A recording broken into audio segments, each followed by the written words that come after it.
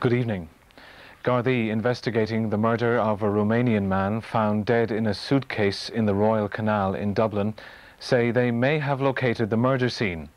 A search of a house in Sandymount in Dublin has uncovered evidence of a violent assault. Police in the north have identified a man whose body was found in an alleyway in South Belfast last night. The RUC said he was 43 years old but have not yet released his name. The leader of the Ulster Unionists, David Trimble, has said the pro proposals for progress in the north drawn up by the two governments will not be acceptable to Unionists without the full disarmament